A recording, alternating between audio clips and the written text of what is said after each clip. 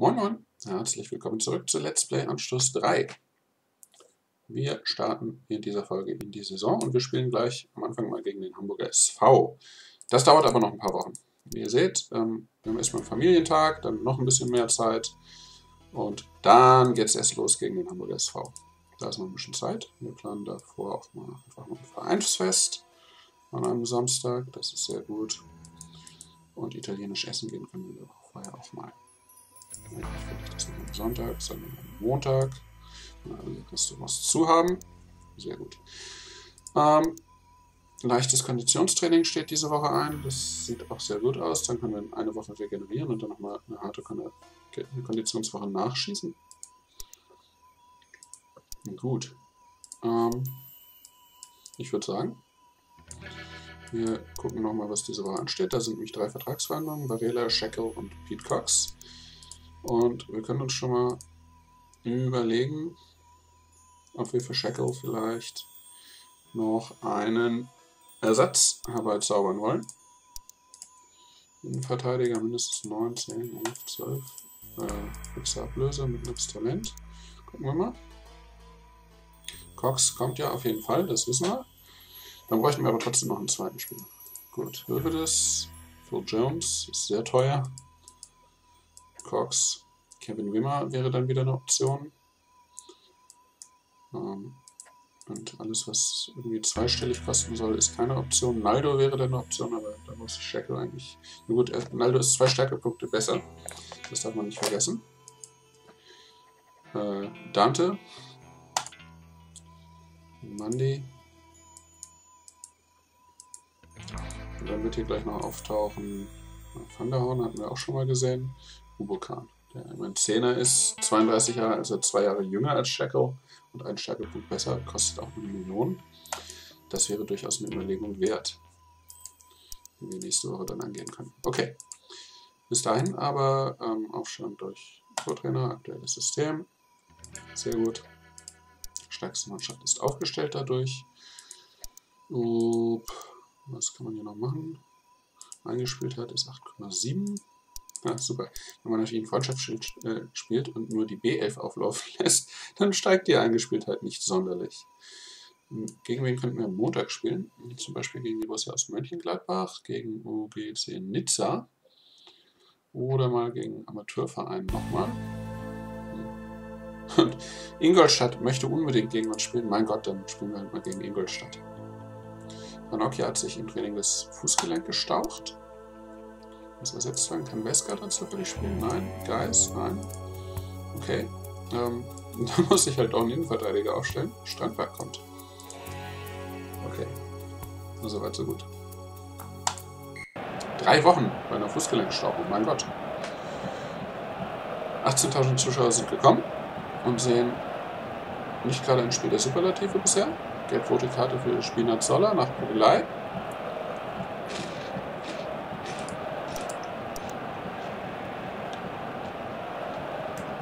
Es passiert weiter nichts.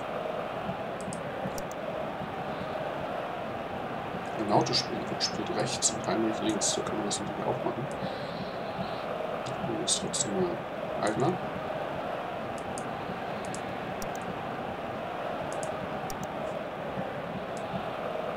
Nice. Und dann so.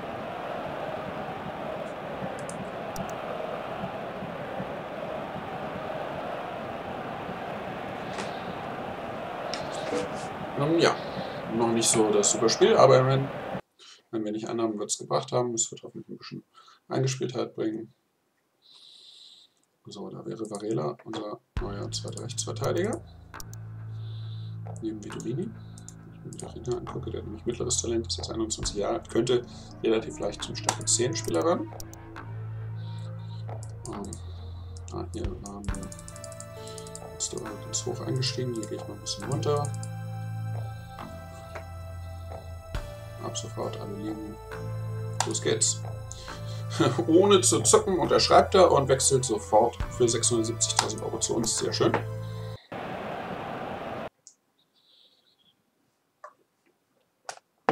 im E-Cup. Wir spielen Atletico Madrid und der ist FC Köln 2 zu 2. Neapel schlägt Kalmar mit 6 zu 2. So. EA Gangan hat Interesse an Shackle. Und seine Ehefrau sagt, dass sie gerne einen langfristigen Vertrag hätte. Im Moment läuft der Vertrag aus. Wisst ihr was? Es gibt die Möglichkeit, diesen Vertrag zu besseren Konditionen für mich zu verlängern. Der Gegner bietet nämlich so wenig. Ähm, das probiere ich dann mal aus. Ab sofort alle Linien zum Verein. Mein Gott, ja, vielleicht. Jetzt hier noch nicht so super pralle. Gut, bieten auch noch ein bisschen mehr. Sehr viel besser. 450.000 und 9.500 Euro sind die Grenze.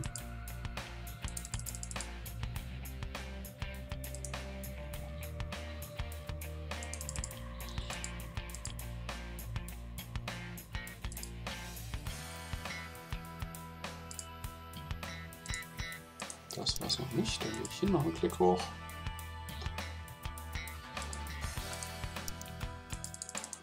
Gut, so. Immer noch nicht.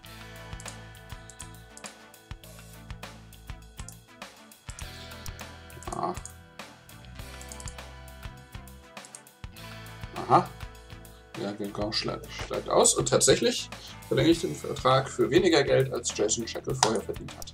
Sehr gut. Ähm, damit machen wir keine neue Baustelle in der Verteilung auf. Das gefällt mir eigentlich ganz gut. Den Frauen und Freundinnen der Spieler gefällt das Vereinsgelände sehr gut. Sie kritisieren aber, dass ihre Männer ihre Schuhe nicht selber putzen müssen. So, apropos Baustelle in der Innenverteidigung. Hier würde ich jetzt das Gehalt mal ein bisschen zurückfahren. Um ein paar hunderttausend Euro, so, dass das Ganze nämlich ein bisschen besser aussieht. Okay, drei Jahre Vertrag ab sofort. Option für Spieler, okay. Leicester City steigt aus und Pete Cox wechselt für die fixe Ablösesumme von 2,72 Millionen Euro sofort zum TSV 1860 München. Sehr gut. Damit dürfte die Planung äh, abgeschlossen sein. Köln schlägt Atletico Madrid im Rückspiel mit 1 zu 0. Standard Lüttich setzt sich durch gegen Lanarca. Ähm, Newcastle setzt sich nicht durch, sondern spielt zweimal unentschieden gegen Janina. Und ist damit ausgeschieden, wenn ich die, das hier richtig, genau. Das erste Spiel war Newcastle auswärts, null Tore. Im Rückspiel war Newcastle dementsprechend zu Hause, ein Tor vom Gegner, vorbei. Stadrennen schlägt ähm, Sporting Gijon zweimal. Trabzonspor verliert 2 zu 3 im Rückspiel gegen Hull City die dann aber kein Auswärtstor geschossen haben. Trabzonspor dafür 2, das ist vorbei und Kalmar und Neapel trennen sich 2 zu 2 im Rückspiel. Sehr gut. Hm, niemand hat jetzt Interesse an da, es bleibt dabei. Wir könnten noch 35 Millionen Euro investieren. Tun wir aber nicht. Pete Cox kann gerne die 17 kriegen, das ist gut. Varela die 25. Cox ist dann auch direkt in der 11, solange ähm, Manokia verletzt ist, der aber bis zum Spiel gegen den HSV wieder fit sein sollte. So, Geist kommt statt Weska rein. Und ansonsten kommt Arnautovic nach links und Eigner nach rechts, würde ich sagen. Da kann Heinrich sicherlich auch mal nach links, nach rechts. Da kann man sehr gut durchtauschen, das passt alles. Ähm, den Herrn besuche ich. Diese Woche steht an vielleicht mal kein Freundschaftsspiel, wenn wir auf Regeneration setzen. Könnten wir tatsächlich so machen. Die Frische ist eigentlich noch relativ hoch dafür. Na gut, aber die wird noch weiter absinken, wenn jeder, jeder Woche ein Spiel ist. Wie sieht es bei den Finanzen mit Zuschauereinnahmen aus Freundschaftsspielen aus? 820.000, das ist völlig im geplanten Rahmen. Dauerkarten verkauft bisher für 4,5 Millionen Euro 13.000 Dauerkarten, das gefällt mir gut. Ähm, wisst ihr was? Dann kann es doch jetzt gleich weitergehen. Andrea Ranocchia findet es toll, dass er mir um die verletzten Spieler kümmert. Kondition geht ein bisschen zurück, Frische geht dafür deutlich hoch. Äh, Champions League Qualifikation, einmal zum Anschauen ohne Kommentare. Ein Mauersberg hat sich im Training einen Innenbandanriss zugezogen. Das ist schlecht. Und mein neuer Torwart Dragowski lässt in einem Trainingsspiel drei Bälle hintereinander durch die Beine rutschen. Er verliert vier Motivationspunkte und die anderen Spieler lachen schon über ihn. Naja, gut. Ligapokal. Bayer Leverkusen, Borussia Mönchengladbach 3 zu 5 nach Elfmeterschießen. Hertha BSC schlägt den ersten FSV Mainz mit 1 zu 0. Ähm, Perdedei ist immer noch uninteressant für alle Vereine. Ihr Spielerbeobachter, ihr Spielerbeobachter ist aus Südamerika zurückgekehrt. Er hat Felipe Oscar Viana, linkes Mittelfeld Brasilianer, Ablöse 5,6 Millionen Euro, einen sehr talentierten Spieler gefunden. Wollen Sie mit dem Spieler einen Verhandlungstermin vereinbaren? Ja, würde ich gerne. Gerne am Donnerstag, dass ich bis dahin mal meine Finanzen checken kann. Im Moment habe ich 22 Millionen Euro auf der Grundkante, das ist gut. Ich habe von den 6 Millionen, die ich ausgeben wollte, 4 Millionen ausgegeben, aber auch 3,4 Millionen reingekriegt. Also sagen wir mal, weil es hier 4,3 und hier 3,4 sind, ähm, habe ich hier eine Million ausgegeben, wären noch 5 Millionen frei. Das würde für den Spieler passen. Okay, warten wir mal den Donnerstag ab. Gerade im linken Mittelfeld brauche ich eigentlich keinen Spieler mehr. Es sei denn, der ist beidfüßig, dann gucken wir mal. Okay. Hier sollten nicht alle Spieler das gleiche lernen. Zweikampfstarker mit Verteidiger hätte ja auch seine ähm, durchaus seine Daseinsberechtigung. Ähm, gut. Ansonsten kann Heinrich bald flanken. Das ist ganz gut. Und wir starten in die nächste Woche mit einem letzten Freundschaftsspiel, würde ich sagen. Am Mittwoch könnten wir gegen die abgestiegenen Hoffenheimer antreten, auswärts. Oder gegen die aufgestiegenen Fortuna Köln, die mich auch mal als Trainer verpflichten wollten. Nein, das war Viktoria Köln, nicht Fortuna Köln. Eigentlich spielen wir jedes Jahr gegen Darmstadt, dann machen wir das auch dieses Jahr wieder. Gut. Ähm, gut. Das Essen beim Italiener war wie immer sehr lecker, außerdem vertragen sich Rodney und Sascha Mölders wieder. David De Gea vom Arsenal FC verpflichtet. 43,42 Millionen Euro gehen an Manchester United. Ob das jetzt der realistischste aller Transfers war, ich weiß es nicht. Ähm, gut. Gegen Darmstadt darf Strandberg auf jeden Fall auf die Bank. Varela ist dabei. Hat überhaupt keine Frische, der Mann. Okay. Äh, Bifuma trifft in der fünften Minute zum 1-0. Sehr schön. Und kurz vor Ende des Spiels werde ich die Szenenhäufigkeit wieder hochdrehen. So, Liebermal geht und Rosina kommt. Nautovic geht, Heinrich kommt, Varela kann auch für eine Halbzeit kommen. So, lassen wir es erstmal. Guillermo Varela trifft sofort ähm, nach zwei Minuten für seinen neuen Verein. Das ist natürlich sehr schön. Kriegt auch Gelb wegen eines harmlosen V-Spiels. Na gut. Cox kann raus, Strandberg kann kommen. Dann kann ich noch Gamso und Wesker bringen. Alles gut. Dragowski kommt auch. Ja, Bergerac trifft. Und ich drehe die Häufigkeit wieder hoch. Und 3 zu 2 und 3 zu 3 in der gleichen Minute. Das Spiel geht richtig ab. 7 zu 5 Chancen. Und die nächste Chance für die Darmstädter. Spielt nach rechts hinaus. Görtner weiß nicht so recht, was er machen soll. Läuft in die Mitte. Passt direkt vor den Strafraum. Hofler sieht kein Durchkommen. Spielt zurück. Görtner marschiert nach vorne. Nimmt den Ball mit. Spielt sofort schnell in den Strafraum. Kein Abseits, aber die Linie nicht die Fahne. Und noch ein Eckball für die Darmstädter.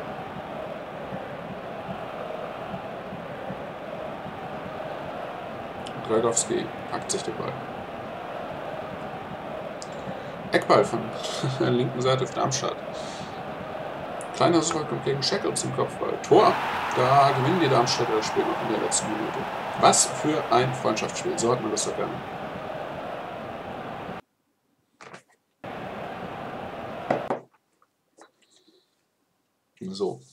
Champions League Quali. FC Barcelona schlägt Starberg Football mit 1 zu 0 nach 2-2 im Hinspiel. Gladbach setzt sich gegen Boros durch. Panathinaikos verliert zweimal gegen Manchester United. Florenz setzt sich durch. Olympique Lyon gewinnt zweimal. Radniki Nitz aus Serbien setzt sich zweimal gegen Samara aus Russland durch.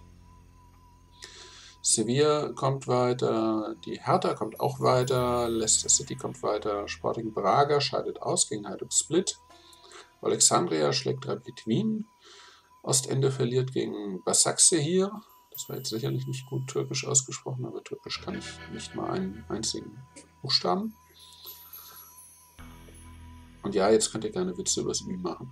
Slovan Liveric ähm, schlägt Odense Lausanne Sport verliert im Rückspiel 0 zu 3 gegen KA Bend und damit ist das 2-0 aus dem Hinspiel nicht gut genug. Die Grasshoppers aus Zürich kommen weiter gegen Malmö und Twente Enschede schlägt den FC Utrecht in einem niederländischen Duell. Die Champions League Gruppen lauten also Gruppe 1 Leicester City, FC Valencia, Medipol Basaksehir, hier. ob das jetzt besser war als eben, weiß ich nicht. CD Nacional aus Portugal. Gruppe 2 Borussia Dortmund, Malaga, Lokomotiv Moskau und Alexandria. In Gruppe 3 Bournemouth, Monaco, Sassolo und KAA Gent.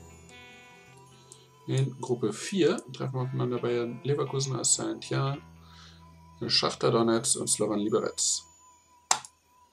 In Gruppe 5 Menu, Hertha, Spartak Moskau und Radniki Nice. Vielleicht auch Radnitski, wer weiß. Gruppe 6 Manchester City, FC Sevilla, Galatasaray und Grasshopper Zürich. Gruppe 7 Borussia Mönchengladbach, Barcelona, Inter Mailand, Twente Enschede. Gruppe 8 Liverpool, Olympique Lyon, AC Florenz und Hajduk Split. Neuhaus hat sich im Training die Syndesmose gerissen, das ist unschön.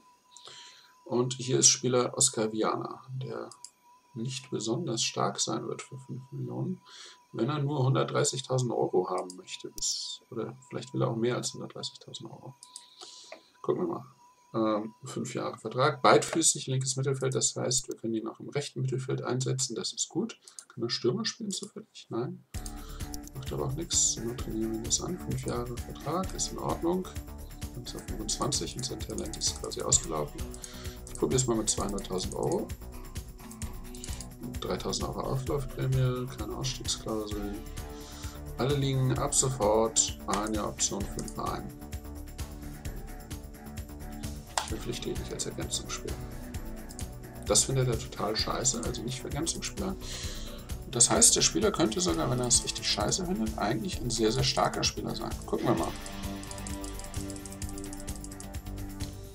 Ich weiß es nicht. Ich hoffe, ich übertreibe hier jetzt nicht. Aha, äh, Filippo Oscar ist sich mit ihm über einen sofortigen Wechsel einig. Gucken wir mal, was wir jetzt kriegen. Bei 15.655 Karten stoppt der Dauerkartenverkauf und das Vereinsfest war ein voller Erfolg. Die Stimmung in der Mannschaft hat sich verbessert. Ähm, Hertha ähm, schlägt Schalke im Ligapokal mit 9 zu 8 nach Elfmeterschießen. Dortmund hat die andere Borussia aus Mönchengladbach mit 1 zu 0 besiegt. Das Finale heißt also Borussia Dortmund gegen Hertha BSC Berlin.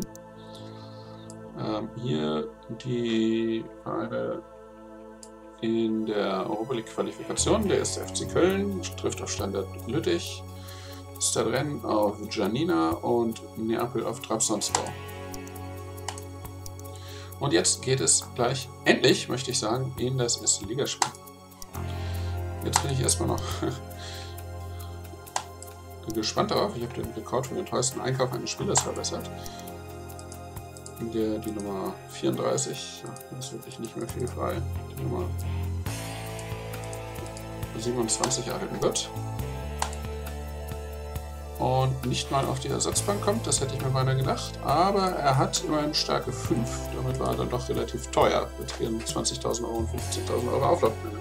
Andererseits hat er alle Anlagen, um ähm, ein ganz, ganz großer zu werden. Wir müssen ihn nur oft genug einsetzen. Probieren wir mal, was dabei so rauskommt. So, Ranocchia und Cox können spielen. Ranocchia der Kapitän, der wieder fit ist. Ich hoffe, er wird richtig fit zum Spiel.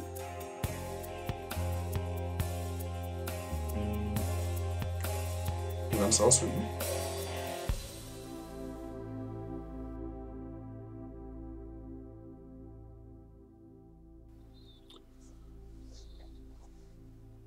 Okay.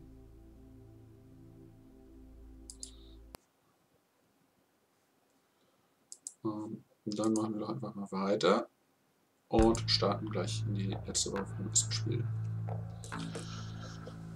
Auf geht's. Ähm, es geht. Ja, ich glaube, es ist alles soweit gemacht. Ich könnte noch einmal Panokia ein zweites Mal besuchen. Ich könnte Mauersberger besuchen und ich könnte Neuhaus besuchen und dann geht es los in die letzte Woche. Andrea Ranocchia findet es toll, dass ich mich um den verletzten Spieler kümmere. Mauersberger findet das genauso toll und ein Teil meines Vereinsgeländes wurde fertiggestellt, sprich die ähm, Verkaufshütten für die, wie heißt denn sowas? Eintrittskarten. Sie besuchen ihren verletzten Spieler Florian Neuhaus. Ich finde es toll, dass Sie sich auch um die verletzten Spieler kümmern. Jaha, mal sehen. Borussia Dortmund schlägt Hertha BSC im Europapokalfinale mit 3 zu 0. Haben wir es vollkommen doch relativ viele Spieler. Ich habe einen Innenverteidiger auf der Bank, einen Stürmer, linkes Mittelfeld, offensives, defensives, rechter Verteidiger. Eigentlich sieht das ganz gut aus hier. Kann Varela eigentlich auch zufällig links spielen? Nein. Gut. Ich werde hier angetrillert. Kostic spielt auf rechts, obwohl er eigentlich links spielen könnte. Nun gut. Ähm, so soll meine Mannschaft für das erste Spiel aussehen. Motivation. Ähm, der Abstiegskampf hat begonnen. Nein, Scherz. Ähm, schauen wir mal. Ich würde sagen, oh, da erwarte ich höchste Konzentration. Die sind gleichwertig. Heute kann der kleinste, aber auch der minimal kleinste Fehler das Spiel entscheiden. Bitte seid hellwach! Sie blicken Gesichter, die bereit sind, alles zu geben.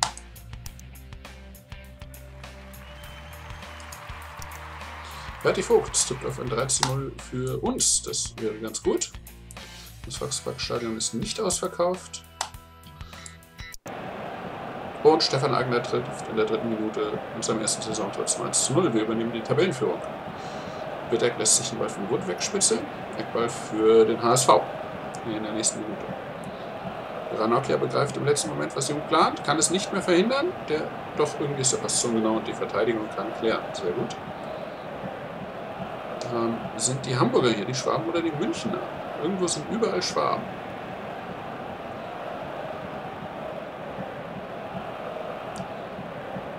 2 zu 0 durch Maximilian Wickeck. Erstes Saisontor. Eckball von 1860. Bedeckt sich den Ball hart an den 5-Meter-Raum. Nautovic kommt irgendwie mit dem Kopf an den Ball. Lenkt ihn Richtung Tor. Martinia fängt den Ball sicher. Ansonsten sieht das Ganze schon ganz gut aus. Wittek wird von mir gelobt. Sehr gut. Eigner ist auch sehr gut drauf, aber es. Achso, ja.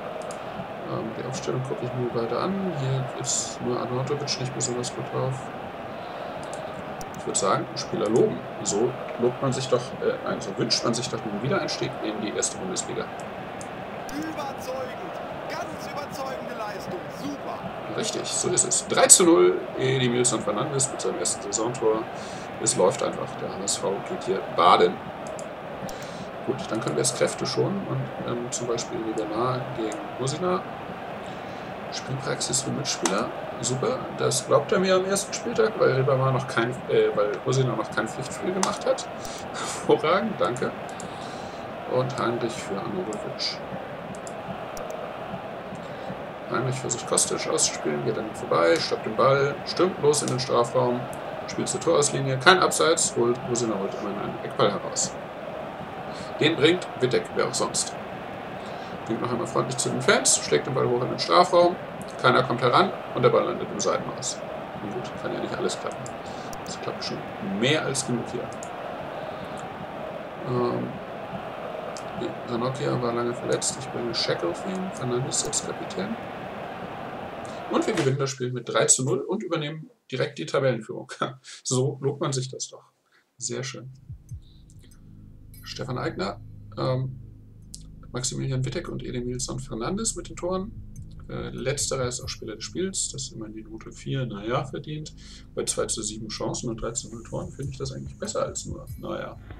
Aber okay. Bezahlte Prämien bei mir 248.600 Euro. Das ist eine ganze Menge. Aber ich hoffe, die Heimspieler werden das alles wieder reinbringen. Gut, die weiteren Ergebnisse sind Borussia Dortmund Eintracht Frankfurt 2 zu 2. Das 0 zu 3 des HSV zu Hause gegen 1860 haben wir gerade gesehen. Hertha verliert gegen Leipzig 1 zu 2, Köln, Gladbach 0-0, Ingolstadt, Augsburg 1 zu 0, Mainz gegen Werder 1-1, KSC schlägt St. Pauli mit 1 zu 0, Bayern München gegen Schalke 1 zu 1 und Leverkusen gegen Wolfsburg 1 zu 2. Im Torschützen sind unsere drei Jungs dabei, Guerrero von Dortmund äh, auf Platz 1, Eigner auf Platz 1 der ähm, Scorer-Liste.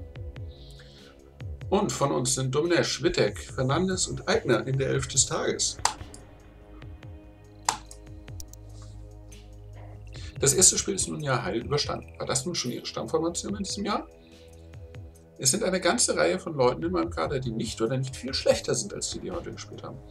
Im Großen und Ganzen habe ich mein Wunschteam beisammen. Vielleicht kommt es auf der einen oder anderen Position noch zur Änderung.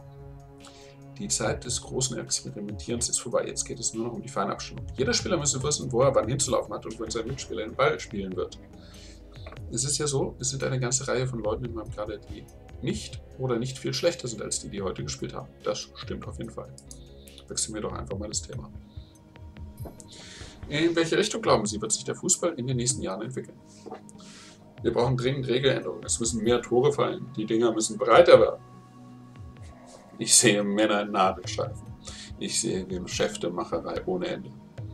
Ich sehe dumme Werbespots. Mir reicht es bald. Sehr schön. Vielleicht erinnert sich der eine oder andere von euch noch an den Werbespot mit Lars Ricken damals.